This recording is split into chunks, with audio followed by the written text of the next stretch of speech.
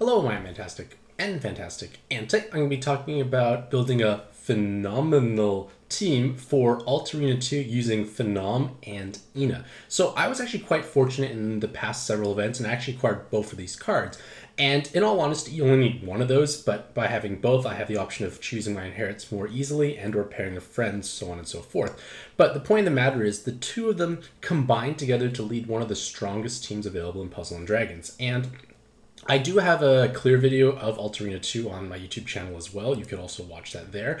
But I want to go into further detail as to why I chose the subs and the rationale behind the team I built on the right hand side. So in Alt Arena 2, you need to plan out your team composition. You can't just enter blindly because you're most likely going to get pounded hard by all the ridiculous mechanics. So before I enter any dungeon, I usually have some sort of mental checklist, and I listed these all out. This is not necessarily an exhaustive summary of everything you need, but I feel that these are the things that are most important that you should be trying to prioritize. And they include a damage absorption, so a Fujin style active skill, some sort of Skyfall, Jammer Skyfall buff, you can use Fenrir, you can use the Spirit Ally, you can use the skill card Agdenine. I can't pronounce the name, but either way, find one of those types of cards in order to overwrite the Poison Skyfalls that has a 50% chance of occurring. You want to have skill delay resist for those respective cards as well. You need to have VDP and possibly follow attack or super follow-up attack. I'm sorry, follow-up attack and possibly super follow-up attack. But because we're playing Phenom Ina, you completely counter this out completely. You can ignore this. So my team actually doesn't have those two awakenings just because her built-in leader skill covers that. You want 100% blind and poison resist along with clouds, in addition to having Awoken Bind Clears readily available. Furthermore, you need to have at least 162,444 effective HP, so that can be any combination of health multipliers and damage reduction to survive the preemptive on floor 2 from Goemon.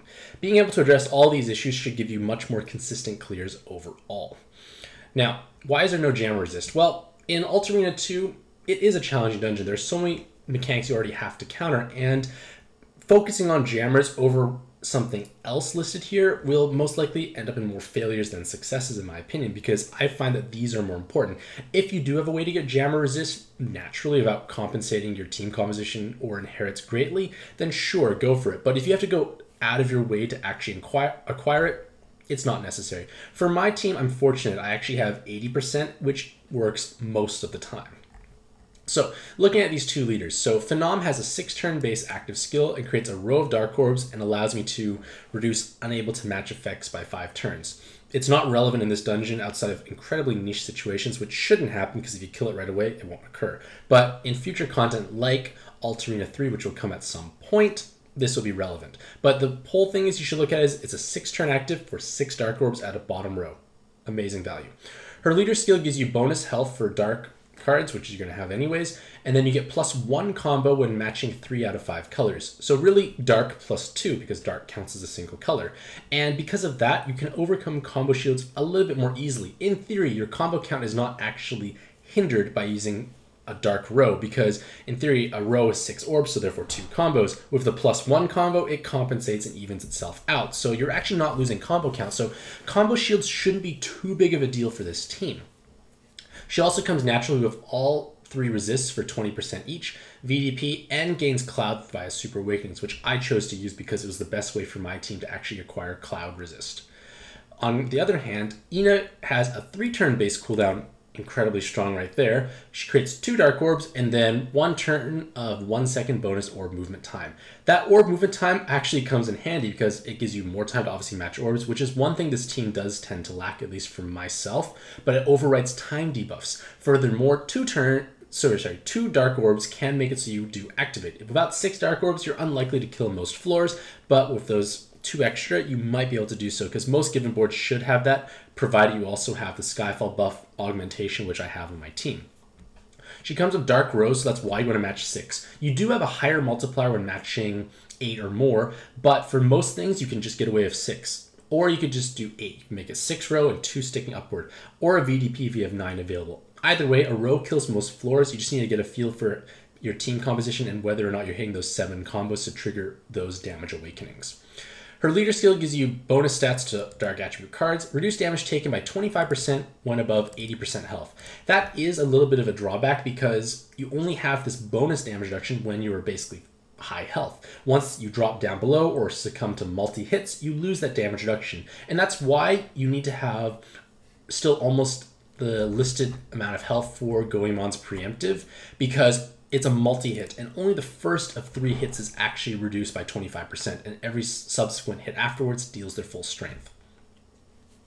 Other than that main points i want to stress that are valuable in Alt Arena 2 is that she has built-in follow-up damage. And this is good for actually any dungeon. Basically if you match six dark orbs you will kill any resolve spawn that's brought down to one health because resolve spawns basically work if that if they're above their health threshold you hit them down they won't die they'll survive one health and they do something probably lethal and kill you with Ina you actually bypass that resolve mechanic completely because you have 50,000 true damage coming up afterwards and this is basically the main sole reason why this is an incredibly strong team. You ignore Resolve completely. Spawns of Void and Resolve are now just spawns of Void. Many dangerous spawns with Resolve are now just regular spawns. You don't have to worry about compensating your matching patterns. You means you also have a much lower dependency on hard orbs. So your board changers and orb changers don't always have to have hard orbs because you don't have to worry about the resolve. That is the single most valuable aspect of this team, and it would not surprise me if GungHo starts churning out more leaders with this type of leader skill because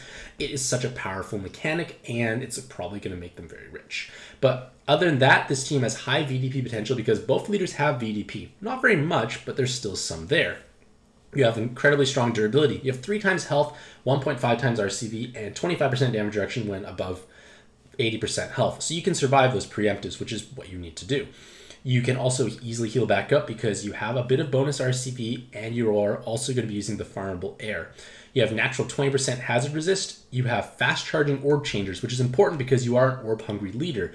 And that is one of the major drawbacks of this team. You need you really need six Dark Orbs to truly kill anything. And without those six, you're going to be dealing significantly less damage. So having these fast charging active skills helps provide a steady flow of Dark Orbs along with the Dark Skyfall buffs that you are hopefully going to have on your team. Another drawback is your damage reduction only occurs when above 80% health. It's lost upon multi-hits. It makes it so you really want to heal back up during those periods of time. So basically this is summarizing all the stuff I just talked about here. So for team building, so that above mentioned list I made for Arena Alt Arena 2, this is how just my two leaders are able to counteract these mechanics, if there are any applicable. And then it's a matter of finding things to fill in afterwards. So I have to find the Jammer Skyfall buffs Fujin style active skill. I do have some VDP. I will want more though. I don't have to worry about follow attack. I will have I have 20% blind and poison resist, so I'm getting there. I already have cloud resist because of Phenom, and then I have the effective. I will be able to get the effective health required, assuming I build um, my subs with modest amounts of health and the HP badge. So that's just something to keep in the back of my mind. And then I have three out of my five colors, and that's important because Phenom and Ina pairing gives you light, dark, and water. So all you need is green and red. Again, it's not mandatory to have them, but it just makes it much easier because you're able to get that plus one combo count, which is actually a damage increase in itself. So basically this image is identical to the one on the right hand side, but it's basically Phenom as a leader with Ina. I use Valentine's Day, New Year's Yomi, Hiei, and Air. So unfortunately this team is quite luxurious in the sense that it's only one farmable, one 7-star Godfest exclusive, 10 stone top rarity card, rare 8 8 star cards, seasonals, etc. Like it's not an easy team to build, but again, this is not an easy dungeon. Of course, you may have some components of this team you can definitely mix and match and swap as needed. I know that Veroa is another strong option, which I don't have. She does bring strong amounts of VDP. She has a fast charging active skill, which heavily floods the board of dark, which would allow me to mix around different active skills. But this is what I have to work with, and I find it works well for myself. I have tape resistant cloud through their super awakenings. I get bonus damage from Hiei. Yomi's already bind immune, so technically the Cecil weapon assist is not as magical. I'm just using it for the stats and the free jammers, so that's why I have 80 instead of 40%, because Trojan Horse gives me another 20. Valentine's Day gets very powerful VDP damage with the VDP. Another thing to keep in mind is you can VDP and a TPA, and her damage will skyrocket assuming you hit those 7 or more combos. Hiei has Dragon Killers, Valentine's Day has God Killers. Those are the most important ones because they allow you to kill various things with relative ease. The Devil Killers are the next priority afterwards. And there was no really to squeeze it on that are super strong options, but it does add meaningful damage because at least Phenom and Ina both have VDP. So my Jammer Skyfall buff card is the Spirit Ally Tokajuro, and it is the best Jammer Skyfall buff available because it provides team HP and team RCV, which actually gives me a sizable increase in bulk and a modest increase in healing capacity. So if possible, you want to try and find a friend with that inherit if you lack one yourself, which is what I did, which is why it's nice I had both Phenom and Ina. I can basically pick the one that is most suitable for my composition. And it's placed on Ina in an ideal world because Ina has that short three turn active skill cooldown, so it comes up quick enough. But then you have a nice base active you want to spam on a regular basis anyway, so it's a good place to put your Jammer Skyfall buff overall. Hiei is the best red card because I feel like it's the strongest option because he has huge VDP damage potential of triple seven combo and VDP. He also gives you 99 turns of Dark Skyfalls, which basically alleviates a large part of the grind, so to speak, of finding enough Dark Orbs for making that road to sweep each floor. So he's kind of basically best in the slot. Other strong options I've seen are people using Plan Air, but it's a card I don't have, and I would still use Hiei anyways.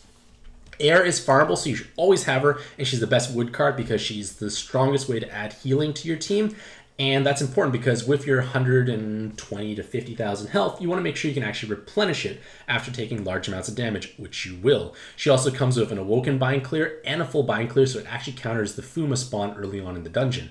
In fact, I actually have three different sources of Awoken Bind Clearing through Valentine's Nay, New Year's Yomi, and Air, so I have flexibility in modifying my active skills and using them at opportune times instead of being forced to always rely on one specific active skill.